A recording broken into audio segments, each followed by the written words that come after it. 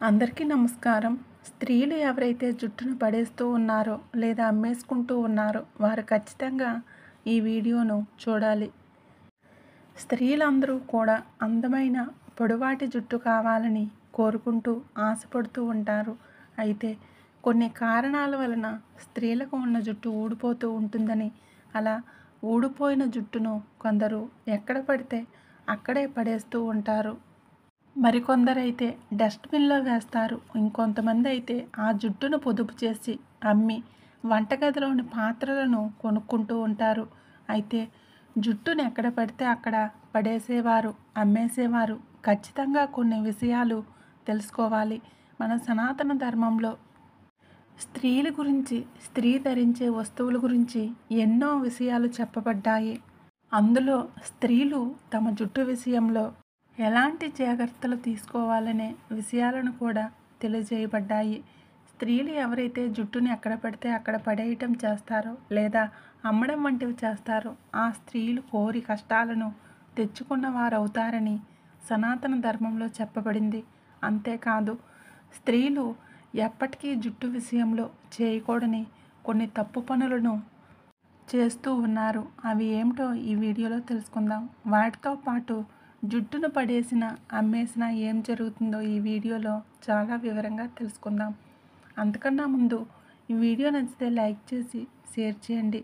ఎక్కడా కూడా స్కిప్ చేయకుండా పూర్తిగా చూడండి. అలాగే మన ఛానల్ను కూడా సబ్స్క్రైబ్ చేసుకోండి. ఆడవారు జుట్టు విషయంలో చేసే తప్పుల వలన లక్ష్మీదేవి అనుగ్రహాన్ని కోల్పోతారు. ఏ స్త్రీ అయితే ఇంట్లో జుట్టు విరబూసుకుని తిరుగుతుందో ఆ ఇంట్లో లక్ష్మీదేవి ఒక్క నిమిషం కూడా ఉండదు. అంతేకాదు స్త్రీలు ఏ రోజుల్లో పడితే ఆ రోజుల్లో తలకి స్నానం చేయడం వలన కూడా లక్ష్మీ కటాక్షం తగ్గిపోతుంది. స్త్రీలు అతి ముఖ్యంగా మంగళవారము మరియు శుక్రవారము తల స్నానం చేయకూడదు. తప్పనిసరి పరిస్థితులు వస్తే అప్పుడే చేయాలి. కానీ కారణం లేకుండా శుక్రవారము మరియు మంగళవారాల్లో స్త్రీలు తలస్నానం చేస్తే ఆర్థిక సమస్యలు వస్తాయి.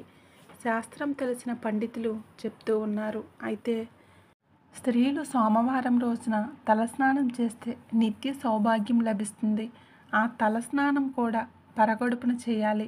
ఏమీ తినకుండా చేయాలి. అప్పుడే నిత్య సౌభాగ్యం లభిస్తుందని పెద్దల మాట. బుధవారం తలస్నానం చేస్తే భార్యాభర్తల మధ్య అన్యోన్యత పెరుగుతుంది. గురువారం మరియు శనివారాల్లో స్నానం చేస్తే ఐశ్వర్యం కలుగుతుంది. స్త్రీలు మంగళ మరియు శుక్రవారాల్లో తలస్నానం చేయకూడదు.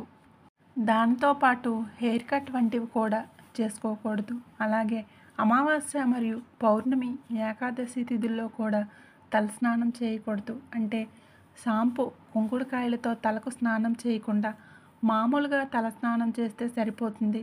అంటే తలపై నీళ్ళు పోసుకుంటే సరిపోతుంది. అలాగే కొంతమంది పెళ్ళైన స్త్రీలు పుణ్యక్షేత్రాలకు వెళ్ళినప్పుడు గుండు చేయించుకుంటూ ఉంటారు. స్త్రీలు తప్పనిసరి పరిస్థితులు వచ్చినప్పుడు మాత్రమే గుండు చేయించుకోవాలని పండితులు చెబుతూ ఉన్నారు. ఎందుకంటే స్త్రీకి అందమైనది జుట్టు కాబట్టి ఏ స్త్రీ అయితే ప్రతిరోజు తల తువ్వి జడ వేసుకుని పువ్వులను ధరిస్తుందో ఆ స్త్రీపై లక్ష్మీదేవి అనుగ్రహం ఎల్లప్పుడూ ఉంటుంది. భరించలేని కష్టాలు వచ్చినప్పుడు గత్యంతరం లేనప్పుడు మాత్రమే భర్త అనుమతి తీసుకుని దేవతలకు క్షమాపణలు చెప్పి తలనీలాలను సమర్పించాలి. అలా కాకుండా ఏ పుణ్యక్షేత్రానికి వెళ్ళినా అక్కడ తలనీలాలను ఇస్తూ ఉంటారు. కొందరు స్త్రీలు మరికొందరేమో జుట్టు బాగా పెరిగిపోతుంది అని పదే పదే గుండు చేయించుకుంటూ ఉంటారు. జుట్టు కట్ చేసుకోవడం వంటివి చేస్తూ ఉంటారు. ఇలా తరచుగా లక్ష్మీదేవి చేస్తే అస్సలు ఉండదు. కాబట్టి కారణం లేకుండా ఆడవారు పదే పదే హెయిర్ కట్ చేయడం వంటివి చేయకండి. అలాగే పుణ్యక్షేత్రాల దర్శనాలకు వెళ్ళినప్పుడు కూడా తలనీలాలు ఇవ్వకండి. ముత్తైదువులైన స్త్రీలు తలనీలాలు ఇవ్వకండి. మూడు కత్తులు ఇస్తే సరిపోతుంది. మీకు ఏదైనా తీరని సమస్య ఉంది లేదా తీరని కోరిక ఉంది లేదా మీకు తెలియకుండా మొక్కుకున్నారని అనుకుంటే అప్పుడు తలనీలాలనివ్వండి కానీ ఇతరులకు మీరు పుణ్యక్షేత్ర దర్శనానికి వెళ్ళాం అని తెలియడానికి తలనీలాలను ఇవ్వకండి. పుణ్యానికి బదులు పాపం చుట్టుకుంటుంది. ఇక ప్రతిరోజు ఆడవారు జుట్టును దువ్వుకుంటూ ఉంటారు. అలా దువ్వినప్పుడు కొంచెం జుట్టు ఊడిపోతుంది. అలా ఊడిన జుట్టు ఎలా పెడితే అలా ఎక్కడ పడితే అక్కడ గోడ అవతల పడేయటం ఇలాంటి పనులు అస్సలు చేయకూడదు. అలాగే జుట్టు దువ్వే ముందు ఇంటి బయటకు వచ్చి జుట్టు దువ్వుకోవాలి కొంతమంది డ్రెస్సింగ్ టేబుల్ దగ్గర జుట్టును దువ్వుతూ ఉంటారు. కొంచెం హెయిర్ దువ్వెనలో ఉండిపోతుంది. మిగిలిన హెయిర్ అంతా కూడా నేలపై పడుతుంది. అలా ఇంట్లో జుట్టు పెరిగిపోతుంది. ఇంట్లో ఎక్కడ పడితే అక్కడ తల వెంట్రుకలు ఉంటే ఆ ఇంట్లో జ్యేష్ఠాదేవి తిష్ట వేసుకొని కూర్చుంటుంది. కాబట్టి స్త్రీలు ఎప్పుడూ కూడా తల దువ్విన ఇంటి బయటకు వచ్చి జుట్టును దువ్వుకోవాలి.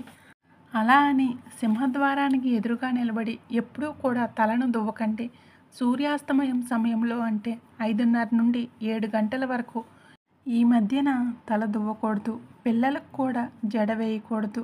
గుమ్మంపై కూర్చొని లేదా గుమ్మానికి అడ్డంగా కూర్చొని జడ వేయకూడదు.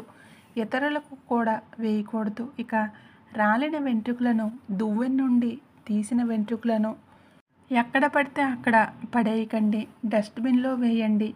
డస్ట్బిన్లో వేసినప్పుడు ఆ రాలిన జుట్టుపై ఉమ్మండి.